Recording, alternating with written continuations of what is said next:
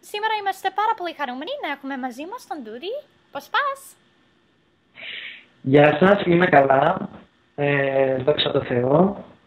Ε, χαίρομαι πάρα πολύ που είμαι μαζί σας σήμερα ε, σε αυτή τη ξεχωριστή συνέντευξη, γιατί μπορώ να πω είναι η πρώτη φορά που κάνω συνέντευξη μέσω, μέσω ε, του Skype, μέσω κάμερας.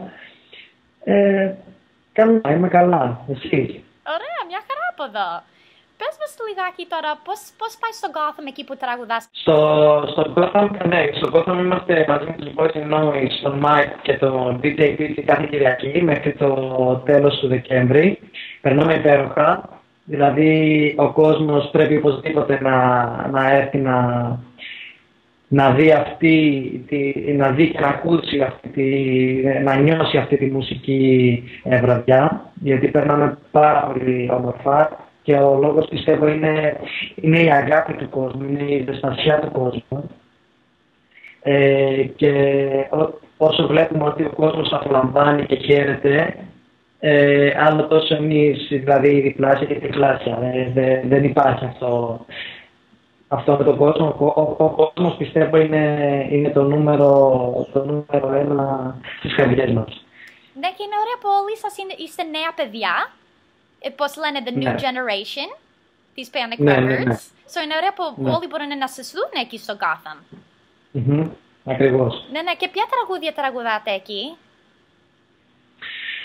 Δικά μας, ξένα, ε, ξένα από και αγγλικά και ελληνικά, ε, από ξένους καλλιτέχνες ε, εννοώ.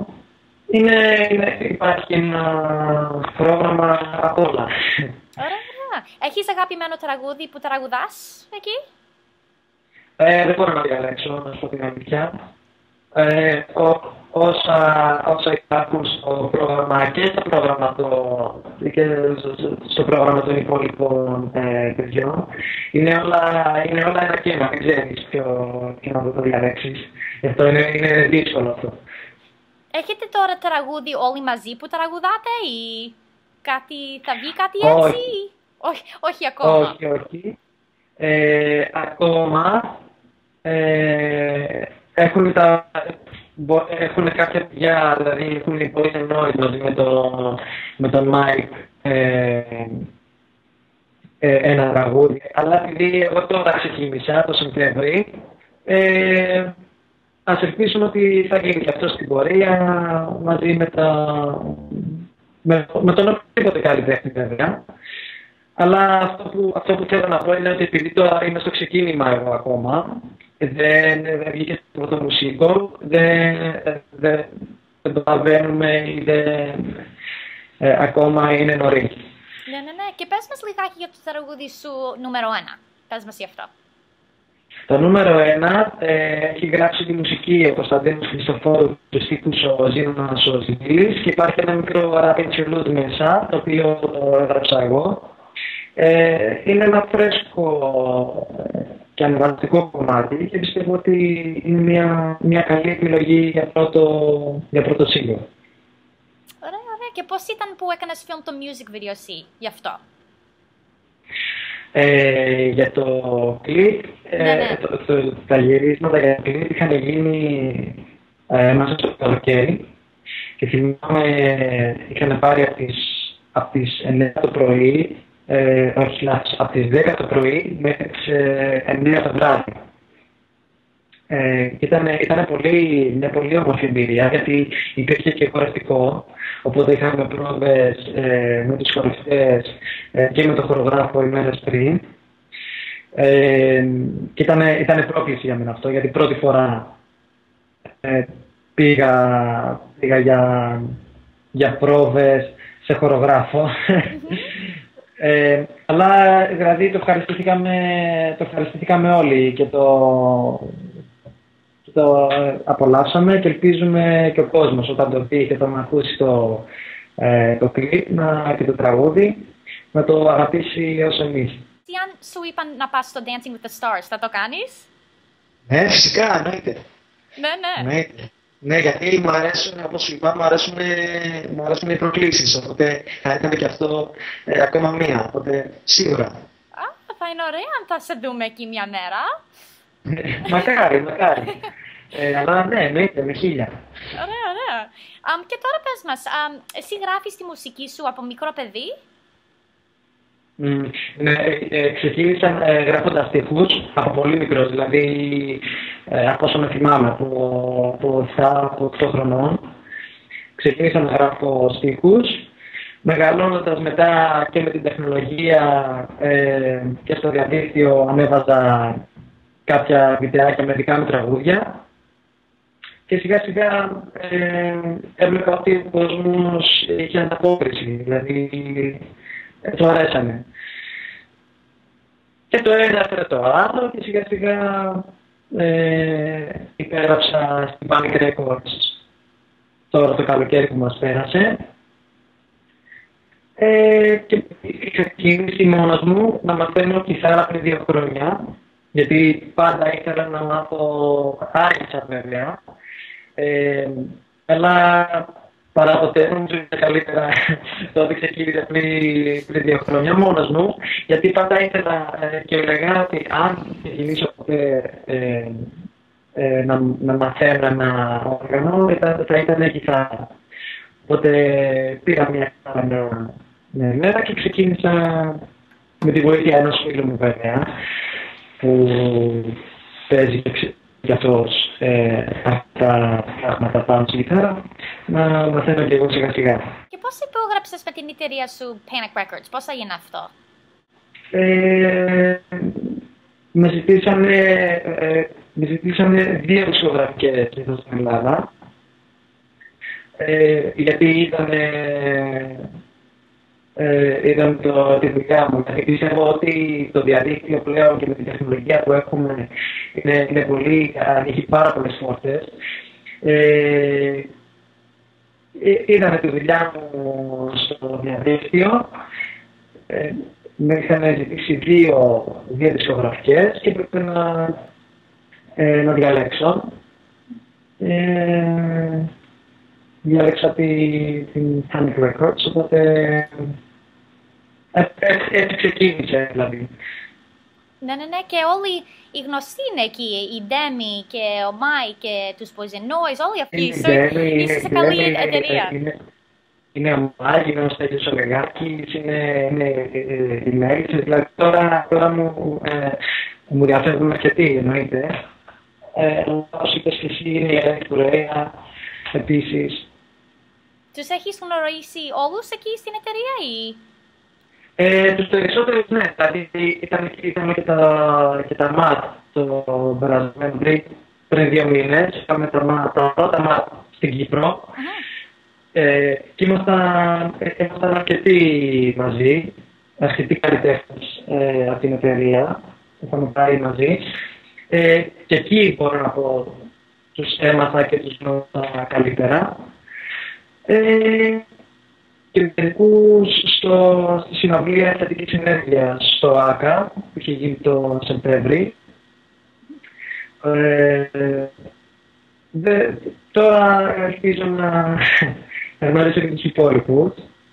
Γιατί, γιατί είναι αυτό το ότι ε, στην Panic Records αυτό, αυτό που είναι το πιο ωραίο είναι ότι δεν είναι απλά μια εταιρεία. Δηλαδή είναι το που μπαίνεις στο, στο χώρο εκεί, στο, στα γραφεία, νιώθεις ότι ε, μπαίνεις στο σπίτι σου. Δηλαδή, είμαστε όλοι μια, μια οικογένεια.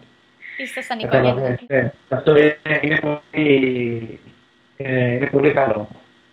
Για τον καθένα, πιστεύω. Έχεις κάποιο ε, καλλιτέχνη που θέλεις να δουλέψεις με, που δεν έχεις ακόμα; Υπάρχουν πάρα πολλοί. Ε, δεν, μπο, δεν, δεν μπορώ ε, να, να διαλέξω. Δηλαδή, θεωρώ, θεωρώ κάθε, κάθε συνεργασία σημαντική. Έτσι. Ε, τώρα, το τι, τι ευκαιρία θα υπάρξει στο ε, με τον οποιοδήποτε καλλιτέχνη, ε, ναι, θα είναι, ναι, αυτό, είναι, κάθε, είναι αυτό που σου είπα, ότι κάθε συνεργασία είναι, είναι καλή, καλή ευκαιρία και είναι σημαντική. Ναι, και δούλεψε με την Αναβίση.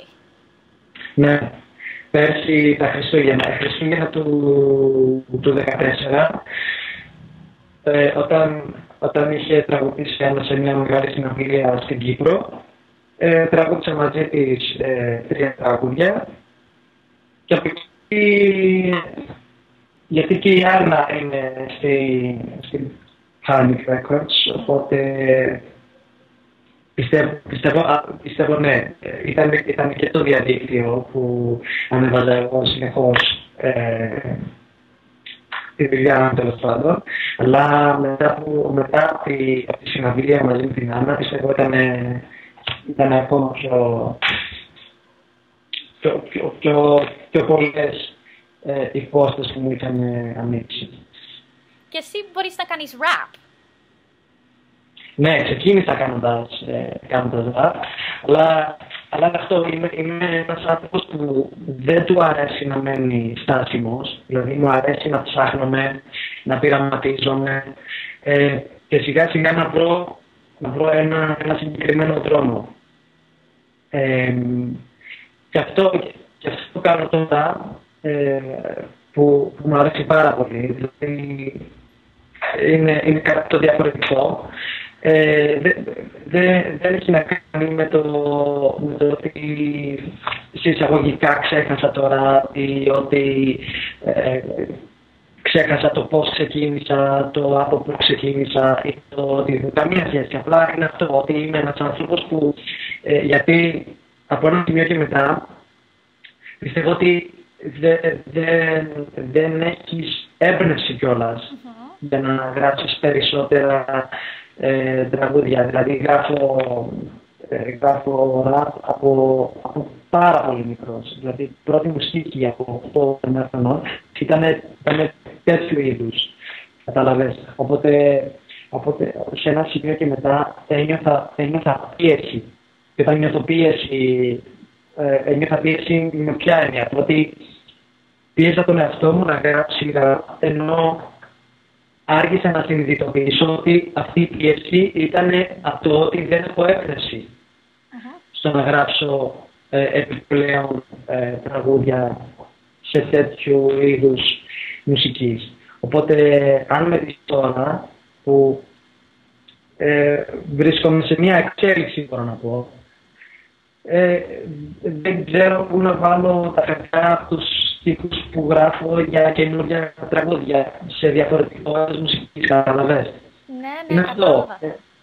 Ναι, ναι, ναι. Και επίσης, και επίσης το θεωρώ σημαντικό από την άλλη άποψη, το ότι ε, είναι καλό το να κάνεις ένα, ένα διάλειμμα, δηλαδή να, να κάνω ένα break από το, από το rap. Δεν σημαίνει ότι ε, θα το ξεχάσω ή ότι το αγαπώ ή ότι, ή ότι δεν, δεν, δεν θα ξανακάνω στο μέλλον. Δηλαδή, δεν σημαίνει αυτό το οτιδήποτε, αλλά όπως σε κάθε, σε κάθε θέμα, ε, ε, σε κάθε, πώς να το πω, ε, ναι, σε κάθε, σε κάθε στιγμή της ζωής του άνθρωπος χρειάζεται, πιστεύω, ένα διάλειμμα από, από, από, από κάτι.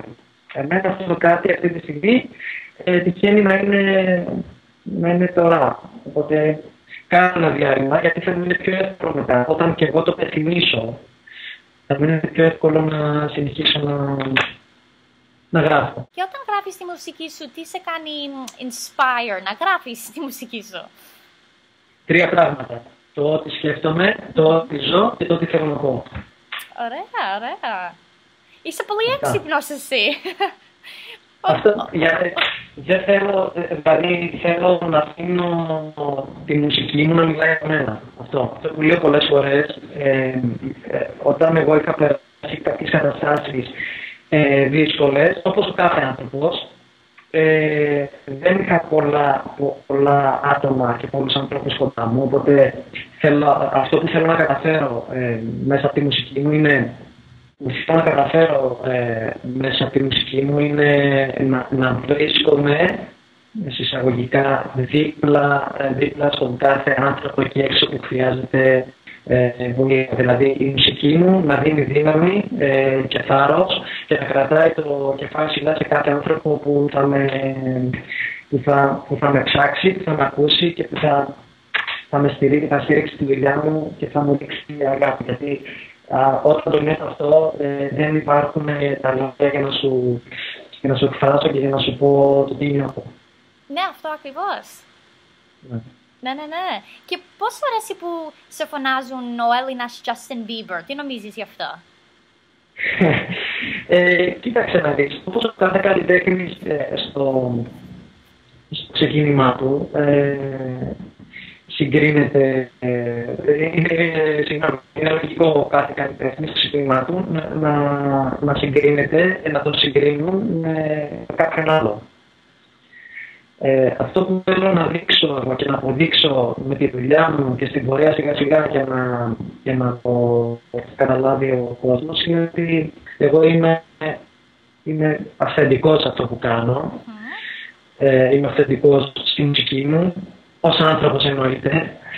Ε, και ότι δεν δίνω καμία σημασία σε αυτό το τίτλο. Ε, είναι, είναι, εντάξει, δηλαδή μακάρι, μακάρι να έχω την καριέρα που έχει ο Justin Bieber, αλλά ε, αν όχι τόσο εξωτερικό, στα δεδομένα Κύπρου, Ελλάδας.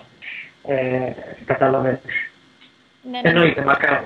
Μακάρι. Αλλά ε, εμένα αυτό που με ενδιαφέρει είναι να δείξω στον κόσμο το ότι είμαι αυθεντικός σε αυτό που κάνω.